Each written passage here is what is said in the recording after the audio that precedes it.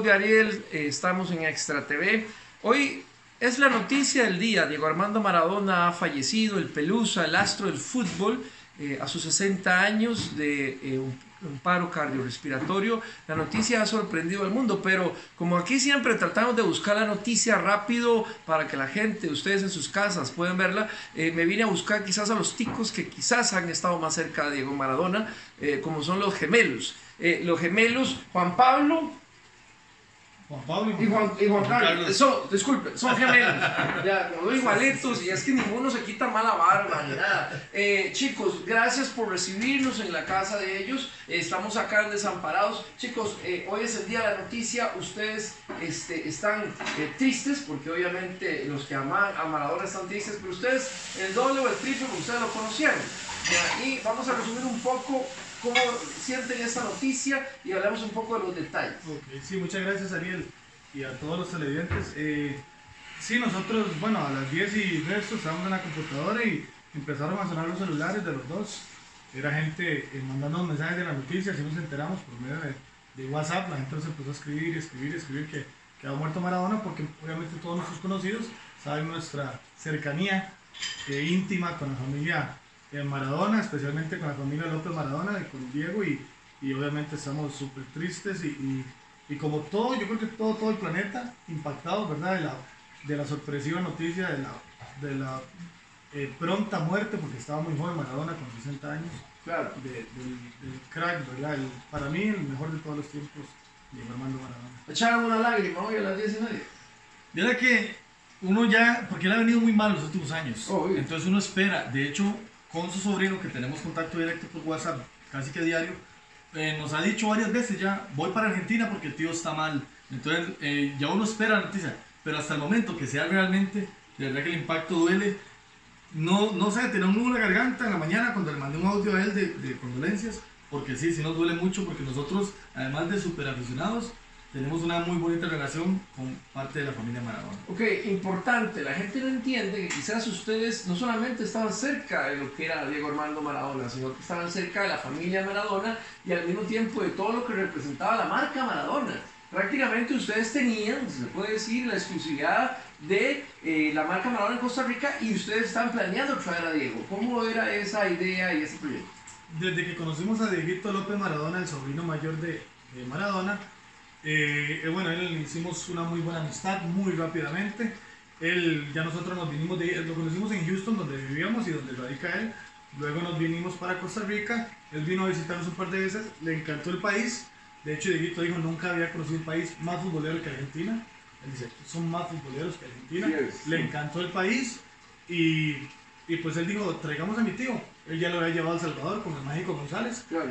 eh, a hacer el show ball, entonces dijo, traigamos a mi tío. Él era el representante a nivel centroamericano, entonces nos dijo, chicos, ustedes son Diego Maradona en Costa Rica. Claro. Todo lo que tenga que ver con Maradona, primero ustedes, ustedes me lo dicen a mí y yo hablo con mi tío y con su gente para hacer algo en Costa Rica. Lo intentamos, pero eh, Era Showball en 2017. Showball, en enero del 2017 empezamos con las gestiones para ver si lo hacíamos en noviembre o diciembre de, de ese mismo año, pero al final di, todo se fue complicando un poquito, ¿verdad? Eh, entonces Costa Rica es un país un poco atípico para ese tipo de eventos, en otros lugares, tal vez en otros países de Centroamérica o México, es mucho más fácil, ¿verdad? Aquí se complica un poco. Luego quisimos hacer una charla universitaria de Maradona, luego una conferencia, luego una clínica con niños. Intentamos por todos lados, pero al final, por ambas partes, ¿verdad? Nosotros solo como mediadores, eh, por ambas partes al final se complicó y, y no se pudo hacer, pero Diego siempre, la, cuando hablamos con él por Skype, él siempre hablaba muy bien, se refería muy bien del país de Costa Rica y, y, y siempre quiso venir, decía que quería venir a Yo creo que, sí, perdón Juanpa, yo creo que el problema aquí en la parte de, de Maradona fue que nosotros le llegamos no por sus representantes o abogados, le llegamos por la familia. Por la familia. Claro. Entonces había un contacto directo. Era más fácil. Claro, Sí. pero más fácil, pero irónicamente por eso se complicó, porque estaba Matías Morla, el abogado, estaban los representantes que decían, no, espérese, A esos para tipos, que él vaya, hay, una, hay que, unos papeles de por medio, que plata, que esto, que lo otro. Entonces, eso fue lo que se complicó. Pero el, el, la relación era directa y él dijo en, en un video que an- anda por las redes, que obviamente nos lo mandaron a nosotros, donde él dice quiero conocer Costa Rica, Claro. quiero hacer un trabajo con los chicos, eh, conozco, él conoce de Guanchope, nos habló de Medford, Claro. Muy de bien de Navas, Keylor Navas. de Navas dijo que era espectacular, Sí. eh, conoció a Brian Ruiz también, o sea, habló de Brian Ruiz, entonces eh, Maradona, digamos, sí sabía mucho de, de- de- de Costa Rica, incluso el presidente del Saprissa, Juan Carlos Rojas, nos invitó a su casa con el sobrino Diego López Maradona y le regaló una camisa de Saprissa, que una semana después él se llevó a Dubái, donde, Sí. donde vivía Maradona, y por eso la foto donde sale Maradona. Dieguito de aquí de Costa Rica se fue a donde el tío, directamente de Costa Rica a Dubái, Sí. y ahí le entregó la, la camisa, la camisa de de- Saprissa. Ok, ¿se puede saber cuánto costaba poner a Maradona en Costa Rica? Maradona. Para ese entonces eran, creo que 250 mil dólares, ¿verdad, Juanca? Sí, ese era el precio de amigos, como De amigos. por ahí, ¿verdad? Pero costaba que el doble. Sí, eh, digamos, el representante en un momento nos habló y dijo, chicos, lo que ustedes quieren hacer si fuese México Pero- vale un millón de dólares. Pero si fuese México. Si fuese México. Pero ¿cómo es Costa Rica? como es Costa Rica y son ustedes Chiquitico. y está Dieguito, que es el... De el- ajá, entonces dice, lo vamos a dejar en 300 mil dólares. 300 mil, sí. Eso más. Eso- eso más, costaba. más- más Los hotel, gastos de él. eh, Ah, sí, Eh, fue- el caché, ¿no?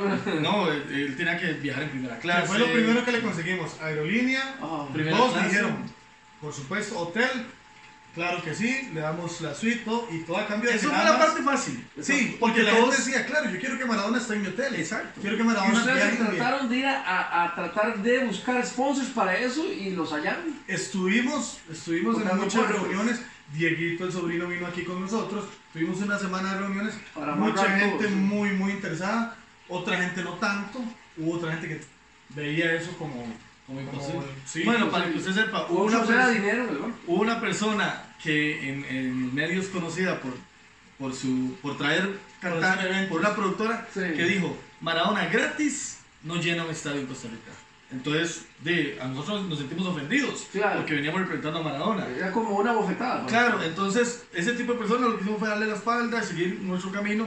Y digamos, en la parte que se complicó con Maradona aquí, no fue tanto los sponsors, porque Sí. muchos estaban interesados. Sí. Pero había que sacar también un permiso en, el- en el ministerio. Municipal. Sí, no, nos todo. pidieron como tres permisos municipales. Había que pagar los treinta y tantos porcentajes por boleto que se Claro. Hubo un montón de cosas que al final, eso fue lo que a, a los representantes de Diego allá no les gustó y dijo, ellos de- decían, Que nunca, nunca se dijo que no se iba a hacer o se canceló, sino que se aplazaba y se aplazaba. Y siempre estuvimos como detrás de eso, ¿verdad? Claro. En algún momento también Diego nos dijo que el tío estaba muy interesado en ser el entrenador de la selección de Costa Rica. Eso era el objetivo de Maradona. en Eso Costa Rica. era, eso era ¿Por porque... qué, por qué, este, eh, Diego Maradona quería dirigir una selección como la nuestra? No sé, él estaba ya en los Emiratos Árabes, vivía en Dubái, era el, el, como el ministro de deportes de todos los Emiratos y ya luego de eso se le, se le terminaba, no sé si era El puesto de contrato, gobierno sí. o contrato y él, ahí fue cuando Dieguito nos dijo, chicos, eh, hablé con mi tío y en eso había venido un argentino aquí a probar con la selección, creo que se fue algo para Perú, Sí, eh, Gareca. Gareca. Sí. dice, y él, él vio que Gareca acaba de decir que no, luego Batistuta también estuvo por ahí, Sí. dice, tío dice que a él tal vez le gustaría dirigir a la selección de Costa Rica. Sí. Claro, ya había, ya había pasado el Brasil 2014, ¿verdad? Claro. Pues, pues él está enamorado Quiero Costa Rica. aclarar algo que pasó en ese Mundial de Brasil. ¿Qué pasó? Voy a defender a Maradona. Lo que pasa es que cuando Maradona en un programa dice, con ese grupo de Costa Rica, si yo fuera costarricense, Ah, me pega un tiro. Maradona lo dijo porque él pensó, claro, Maradona lo dice con otras palabras, Porque él es Maradona Sí, y él habla así. bueno. pero él pensó lo que todos pensamos, en ese grupo no tenemos chance de nada, hasta Claro. nosotros mismos. Sí. Claro, la sorpresa fue... Oh, eh, acordate que los uruguayos nos dijeron Costa Pobre. Exacto. Y nos humillaron. Y eso Exacto. todavía entramos con más duele. Y el bravura. tico, el, el tico se queda más, con- bueno, la mayoría de personas se queda más con lo- la, la ofensa, con lo que duele. Sí. Pero Maradona ha hablado muy bien de Costa Rica y eso no lo dicen. Él luego se disculpó de esa nota. Dijo, mis respetos para Costa Rica, Obvio. lo que está jugando fútbol. Claro. Y él dijo, y no es la sorpresa del mundial, es la sorpresa de los mundiales. Él lo dijo, pero eso no lo sacan, solo sacaron la parte mala y La fea. parte fea. Entonces, Maradona siempre admiró a Costa Rica después de ese mundial por su fútbol. Qué, qué maravilla. Eh, les preguntaba anteriormente, ¿qué va a pasar con Maradona? ¿Se va a hablar Maradona por los próximos 20 años?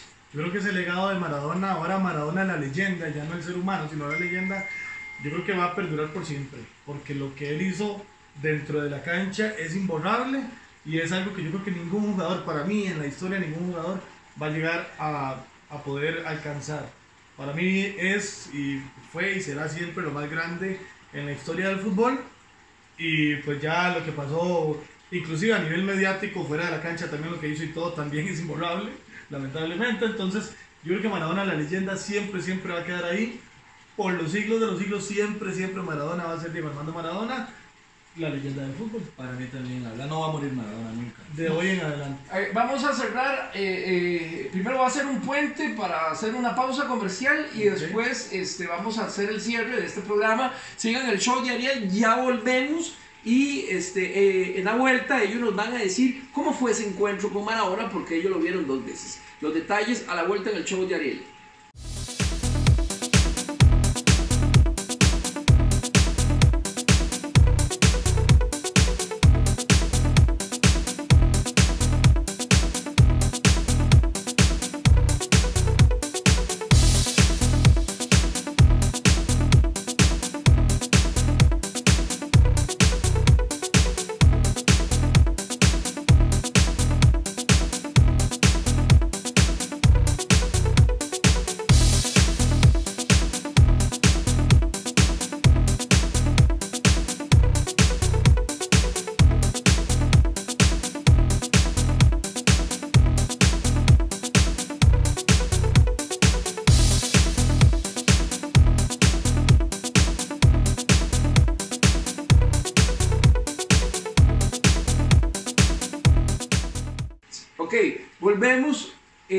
Aquí en el show de Ariel. Ahora ellos nos van a contar cómo fue ese encuentro con Maradona. Ya en la entrevista previa de Diario Extra, este, me contaron que en 2013 fue un encuentro en Argentina, fue algo rápido, pero lo vieron y estuvieron con él. Y en 2017 vía Sky, eh, por medio de una conversación a Dubái, a a Medio Oriente. Chicos, ¿cómo fueron esas dos veces que ustedes pudieron ver a Maradona? La primera vez eh, fue una invitación. Juan Pablo. Juan Pablo. Fue una invitación de, bueno, de Dieguito López. Estábamos Sí. en Houston con él y fuimos a pasar la Navidad a Argentina.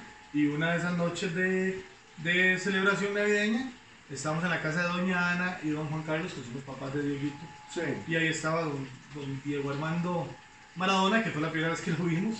Él estaba ahí sentado, nosotros entramos, pero antes nos advirtieron, chicos, es algo muy, muy, muy privado. O sea, es la familia Maradona. Closet. Entonces no queremos, ustedes van a ser los únicos de afuera, afuera. y no los conocen. Claro. Entonces no queremos, ¿verdad? Show. Que lleguen a... Porque eso nos va a molestar no a ti, a todos. No, Dieguito, tranquilo. Y e hicimos caso. Llegamos muy rápido, perdón, Juanjo, fuimos muy, muy educados. Sí lo saludamos, yo estaba que temblaba, ¿verdad? Ajá. no me lavé la mano y todo. Sí. Pero lo- yo pensé, lo voy a tener ahora más cerca. Entonces, no. En otro momento, no, tenía ganas.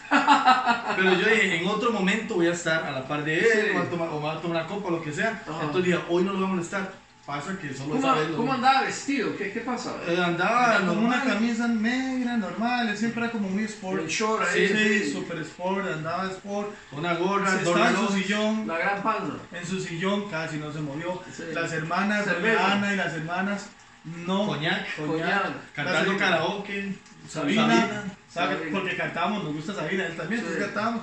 Cuando nosotros llegamos y los saludamos, él nos pegó así, hola chicos, están para, para Semana Semana, Santa, Santa. nos dijo ustedes, están para apóstoles, nos vaciló. Y nos pegó aquí, ay, Costa Rica, sí, claro, los, los amigos de Dieguito, qué bueno, eh, eh, mellizos, y ahí nos...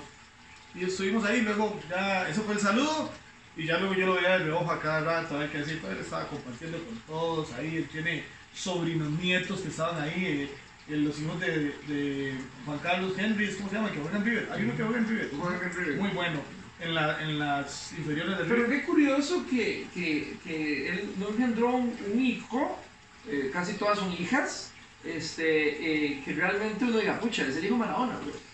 Sí, bueno, ahí está el nieto, el hijo de Janina y de Con. Ahí está, Bueno, ¿no? tiene- y tiene un hijo en Italia, Sí. que es muy parecido a él físicamente, jugó fútbol playa eh, con la selección de Italia, fue muy, fue muy reconocido. Pero es que, no sé, yo no sé, lo- para mí atléticamente lo de Maradona era inhumano, excepcional, entonces no creo que por genes o por algo iba a sacar un hijo igual. Porque De- a Messi creo que le han ya ofrecido que Sí. venda esperma. güey.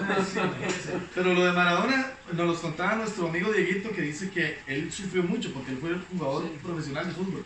Y él sufrió mucho porque tenía un peso muy grande, que era el apellido Maradona. Claro. Entonces dice, donde yo llegaba tenía que responder como un Maradona. Y como Y se llamaba nunca- Diego Maradona, pero pues se llama igual. Güey. Traía el Entonces- peso de Diego, Diego Maradona en la espalda y Entonces le, le iba mal porque la gente esperaba muchísimo más de él.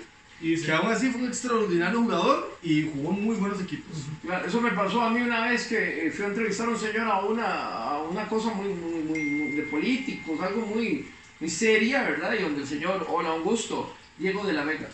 Diego de la Vega. El zorro, igualito ese.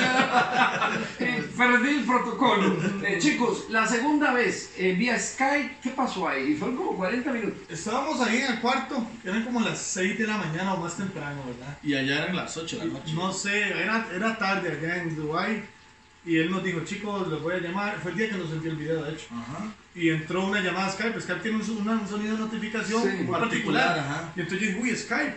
Y yo contesté y estaba Dieguito con el tío. Hola chicos, ya se acordaba de nosotros. Claro. ¿Cómo está? ¿Cómo está Costa Rica? Empezamos a hablar. Para esos días había una final de Champions de, de Keylor Keylor. Ajá, y él empezó a decir que Keylor había hecho un trabajo excelente durante esa Champions. Empezamos a hablar ya más de fútbol. Claro. Estuvimos como 40 minutos hablando. eh, eh, por ratos estaba Maradona. En concreto con él estuvimos como unos 15, 20 minutos hablando. Él se acercaba, Era tenía un café, bueno, creo que era un café. Sí es, y la- lo- cuando estuve con él y cuando hablé con él, sí es un poquito eh, Es muy distraído, sí. Es distraído, él como que habla un rato. Se queda esperando qué es lo que le están diciendo y al rato te responde. Pero es amable, es una persona, o sea, con nosotros Un señor eh, como- por Skype, exactamente. Sí, un señor como cualquiera, era muy distraído, a veces le decías algo, te contestaba, te decía otra cosa, era muy distraído, pero muy buena gente y, y muy atento. Y Dieguito también con nosotros ha sido, ahora que le, le pusimos el audio y que Sí. le mandamos de condolencias, él, él igual con nosotros, tenemos pensado llamarlo en unos días, está muy reciente esto, con gusto si le dimos el pésame. Pero también a Doña Ana, que era, Doña Ana la hermana mayor de Diego, Quedó Sí, como la que, mamá. que ella hace mucho, que desde que Doña Tota falleció, quedó como la mamá de él, prácticamente, y, y ella ya está muy, muy anciana, entonces debe estar también muy afectada. Darle el pésame a ella también queremos, y, y no, nosotros obviamente estamos, ahí le mandamos ahora un abrazo a toda la familia Maradona, y, y, y no, y sabemos el durísimo momento que deben estar pasando, más por ser Diego Armando Maradona, que Claro. ahora ellos abren cualquier red social y la cara de él va a salir Va a ahí. estar así, va a estar bombardeado. más les va a doler y también yo su- supongo que también eh, los va a llenar de orgullo porque también por, lo- por el legado que deja Maradona. Pero sí, sí, no, nosotros con Dieguito tenemos una amistad muy bonita y en el grupo de- tenemos un grupo de WhatsApp nosotros tres y ahí casi que todos los días hablamos y, Chicos, ya para terminar, ¿cuál sería el plan a corto plazo para poder eh, eh, retomar el, el- el tema de traer a Maradona, pero ya no sería Maradona, sería el Kun? Bueno, ustedes trajeron a, a Ronaldinho Gaucho, ¿es así? Si mal no recuerdo. Fue, fue, bueno, fue con, Full con- Party. con un amigo Full Party y José Pablo Murillo. Sí. que Trabajamos en la producción de lo que fue con Ronaldinho también. Y sí, el, el contacto con estrellas a nivel mundial está directo, que es con nuestro amigo y socio Dieguito López Maradona. Sí. Él es amigo personal el que he visto yo en su teléfono de Riquelme, Batistuta, Kili González. Almeida, Ancelotti, Ah, bueno, el, el que es muy, muy, muy amigo de él es el que iba a ser entrenador de la selección que vino, eh, de las Chivas, Matías Almeida. Matías Almeida. Muy, muy, muy amigo cercano. Socio. Entonces, Está en el Socio, Airways Houston. allá, en el terremoto. Es digamos, socio, de él ahí en Houston, en el predio que tiene que se llama La. Bombonera, donde organiza campeonatos, eh, ahí como de terceras, digamos de aquí él organiza campeonatos Sí. de veterano femenino y, y de, de terceras. Pero lo que yo le, sí le puedo asegurar es que Dieguito Maradona, el sobrino, va a vivir en Costa Rica Sí. en algún momento. A él le encanta. Porque él lo dijo. Y él es entrenador, Claro. licenciado en clase A. Y él dijo, yo voy a entrenar alguna vez un equipo de Costa Rica. Chicos, ya para terminar, el show de Ariel, ¿ustedes eh, eh, van a hacer algún homenaje en los próximos días? ¿Qué va a pasar con, con esto? Yo no sé, bueno, ahora nos ha estado sonando el teléfono de varios lugares donde nos han llamado, entonces, eh, primero, lo primero, primero que tenemos que hacer es hablar con Dieguito, Hablar porque con no nos queremos tampoco eh, Aprovechar, aprovechar de la situación. Sí. Eh, a vos con muchísimo gusto, Ariel. Eh, toda la nota y todo, porque sabemos que es una nota para, un para el programa Sí. y, y la prensa y, Y todo eso. agradecidos. Y Sí, claro los- que sí, Los, pero- 10, mil- los 10 millones de gente en extra De- que de- pendientes, sí, sí, a sí. agradecer. No, pero también eh, di, no queremos aprovecharnos más por ser tan íntima la relación que tenemos con la familia Bueno, esperar un tiempo, quizás. Vamos a esperar un poquito qué pasa Y todo esto. conversar con Diego, a ver qué nos dice. A lo mejor y él mismo Que nos puede hacer una entrevista tipo este, vía Skype. Que ahora cuando estuvo enfermo, de hecho nos buscó un periodista, le dijimos, Dieguito, que si te pueden llamar, yo digo, no hay ningún problema, puedo hablar de mi tío, que me llame y yo ahí les cuento cómo está la situación. Eso sí, que me llaman a ustedes, ustedes me llaman a mí. Todo ahí- por medio de nosotros siempre. Claro. que sea así, sí. Perfecto, chicos. Este, más que agradecidos, eh, eh, Juan Pablo, Sí, señor. Juan Carlos, ¿no? al final, pero eh, para eso tenemos un- una génesis y un final para el programa y aprendernos, porque son gemelos igualitos, aquí no se cortan pero ni el pelo, quedan iguales. Chicos, esto ha sido el show de Ariel, un poco con la nota del día que ha sido esto de la muerte de Diego Armando Maradona. La verdad nos ha eh, tocado a todos que nos gusta el fútbol y, sobre todo a ellos que han estado cerca, quizá los ticos más cerca que han estado con Maradona en los últimos tiempos por toda esta relación comercial, incluso estuvieron a punto de traerlo a Costa Rica. Eh, sigan ustedes en la sintonía de Extra TV.